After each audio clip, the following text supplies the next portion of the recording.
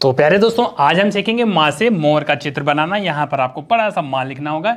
इसको इधर से ऐसे ऊपर की तरफ़ करिएगा। यहाँ पर अंदर के साइड में घुमा देंगे।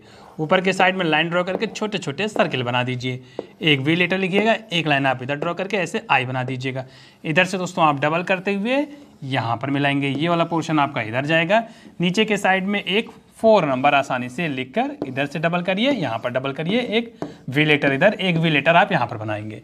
इसके बाद इसको हल्का सा ऊपर करके यहाँ पर छोटे छोटे आर्क बनाते हुए ऐसे इधर ले जाएँगे। इधर से दोस्तों आपको आसानी से लाइन ड्रॉ कर देना होगा।